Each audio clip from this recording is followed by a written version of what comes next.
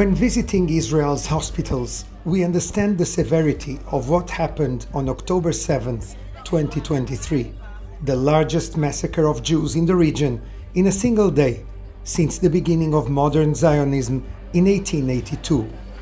There is a lot of talk about those killed on October 7th, and of course, of the Israeli military operation in Gaza. There is much talk, naturally, of the 253 kidnapped on October 7th who were forcibly taken to Gaza by Hamas.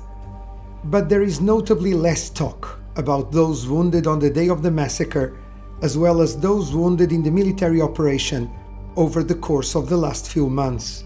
There are thousands of wounded people who are trying to recover in hospitals, in rehabilitation centers like this one here in Hadassah, in Mount Scopus, in the new Gandel Rehabilitation Center. There are soldiers here who are trying to get back to normal life as quickly as possible, but it is not easy. The rehabilitation center is still under construction and was due to be inaugurated sometime in 2024. It is 28,000 square meters, has eight floors, and focuses on patients wounded in war and from terrorism, but also on patients suffering from trauma, accidents, strokes, and other illnesses.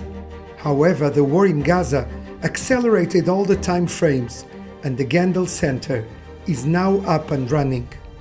יש פציעות כאלה שמשאירות איזושהי מגבלות, איזושהי נכות, שמלווה את הפצוע לכל החיים, ואנחנו הופכים להיות הבית שלהם. אנחנו עוקבים אחריהם, מטפלים בהם שנים, שנים אחר כך. It is the darkest day in the history of Israel. The Saturday of Simchat Torah. The entire country woke up in a state of shock.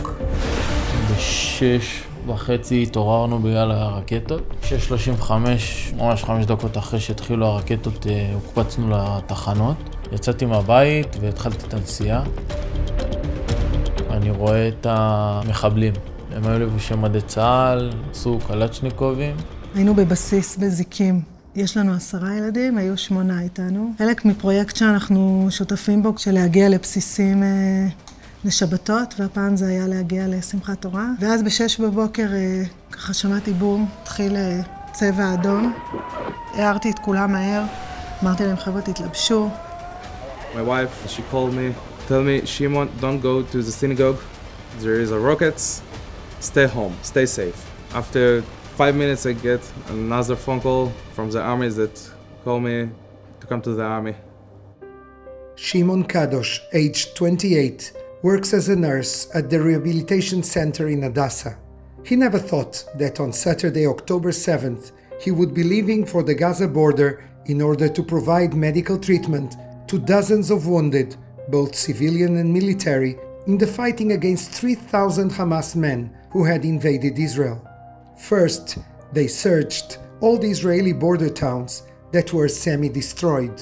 We need to collect all the bodies and all the weapons that we found there. Uh, we're going home after home, room after room, and we search about everything that we can find to, to tell the families what happened with the people.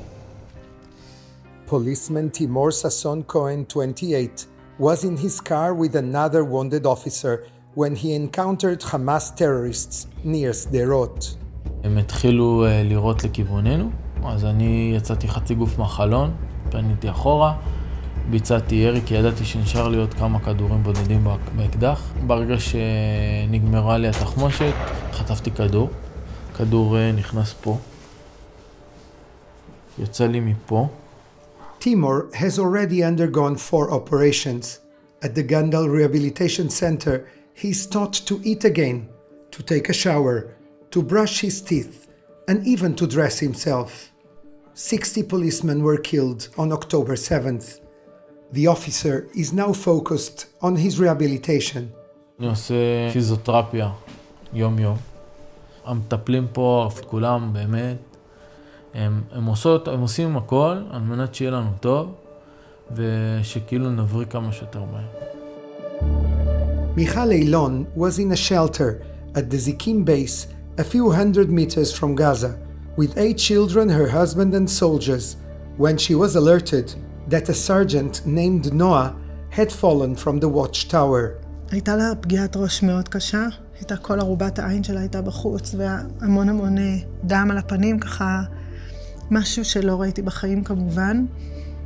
Michal risked her life to save Noah outside of the shelter when suddenly she saw how one of the soldiers who had welcomed her the day before had been shot at the entrance of the shelter. Suddenly, another soldier with a very different appearance emerged. כשהסתכלתי על הפנים שלו ראיתי שהוא מאוד מבוגר יחסית לכל החבר'ה הצעירים ונפל לי האסימון.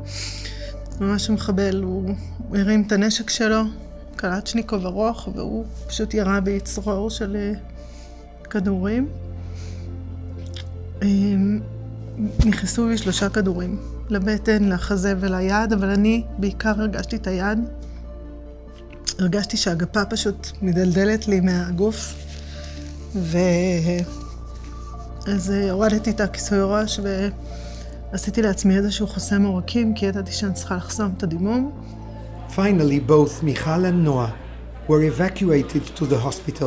הכניסו אותי ישר לחדר ניתוח, הוציאו את הקליע. קליע שפה השאירו, אמרו שהוא, ברוך השם, עדיף לא להתעסק איתו כרגע והוא בסדר. Michal still has a long period of rehabilitation ahead. צריך המון המון סבלנות והרבה, באמת הרבה אורך רוח להבין שהתהליך מתקדם ולראות את, את ההתקדמות. הצוות פה מקסים, אני מרגישה שאני מתקדמת. השיקום מאוד כואב, אמר לי מישהו מאוד חכם, הוא אמר לי, תקשיבי, אם את לא בוכה בפיזיותרפיה, אז זה אומר שהפיזיותרפיה לא טובה. I was amazed by her uh, fight. She was uh, fighting to get back her life, her dignity, her strength, and she was very, very, very uh, strong. And she gave me a lot of strength uh, to go through uh, taking care of other patients and to go through the days that were very anxious for all of us.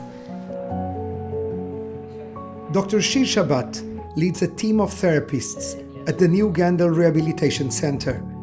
Among them are hundreds of soldiers wounded in Gaza.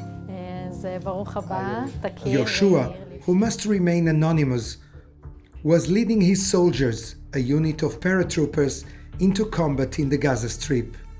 Suddenly, he and his men identified a group of armed terrorists. אני נכנסתי ראשון לאחד הבתים, ואיך שאני ממש מגיע להיכנס אליו, אני מרגיש איזשהו בום חזק ואני נופל לתוך הבית. ונוצר מצב שאני שוכב לבד בתוך בית, אה, יחד עם שלושה מחבלים שאני ממש רואה אותם מולי, אה, שיורים עליי משלושה מטרים, משהו כזה. אה, ובאמת, שם אני כבר, אני רואה אותם יורים עליי ואני אומר שמע ישראל, אני לא חושב שאני מצליח לצאת משם. אני לא מרגיש לא את הידיים, לא את הרגליים, אני לא יודע מה הפציעה שלי, חוץ מזה שאני מרגיש שיורד לי דם מהצוואר. Within five minutes, the paratrooper was evacuated while under fire, and they began to treat him on the ground. They gave him four rations of blood and flew him to the hospital by helicopter. איכשהו הצלחתי להגיד את השם שלי, אבל מיד אחרי זה איבדתי הכרה ו... אה, והתעוררתי שבועיים וחצי אחר כך. החיילים שלי לקח כמה ימים טובים להאמין שאני חי. Both Yoshua's father and his brother are fighting in Gaza. So when they came to inform his mother, who has been working at Hadassah Hospital for 23 years, that her son had been seriously wounded, she asked which son it was. יוצא אלינו הרופא, ואמר לנו משפט שהוא די מטלטל, הוא אומר, "אה, הגיע אלינו כשהוא יותר מת מחי, עכשיו הוא יותר חי ממת, וברוך השם, עם כל תהליך השיקום, אנחנו רואים שהוא הולך וחי מיום ליום. הגיע לכאן, הוא היה במחלקה הקודמת הישנה. כשעברנו כאן לבניין החדש, היה בונוס נוסף גדול, שהוא קיבל גם את התנאים הפיזיים אה, החדשניים, עם כל המערכת החדשנות שנמצאים בפיזיותרפיה, בריפוי בעיסוק, והתנאי מלונאות שבאמת מאפשרים איזושהי שהייה בתהליך השיקומי, ולא להתחיל להתעסק עם אה, דברים אחרים מסביב. Yoshua had married shortly before the October 7th massacre. His young wife has been with him since he arrived at the hospital.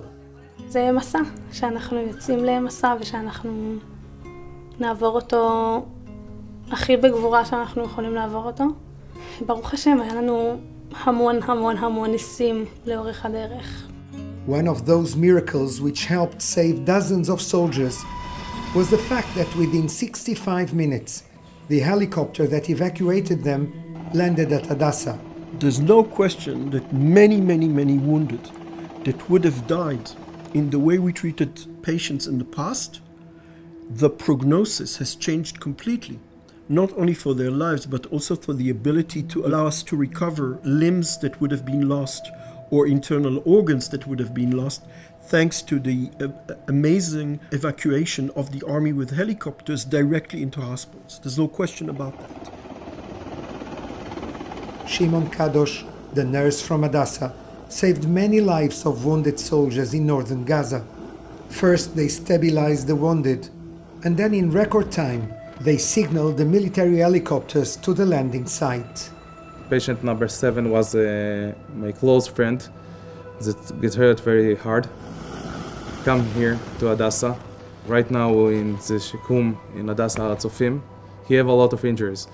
Uh, he get hurt in his neck, in his chest, in his stomach, in his hands. So it was very tough to see someone that's very close to you.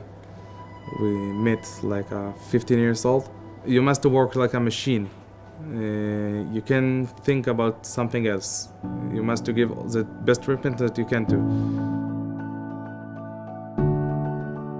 In the aftermath of a war like the one in Gaza, involving thousands of wounded and post traumatic soldiers and civilians, the Gandel Rehabilitation Center will have an even more critical role to play in Israeli society. This hospital, Hadassah, really is going to be taking care of a lot of the rehabilitation because of our leading role both in physical and mental rehabilitation at the Gandel Rehabilitation Center and the mental uh, health infrastructure and, and, and leading role that we play in the country.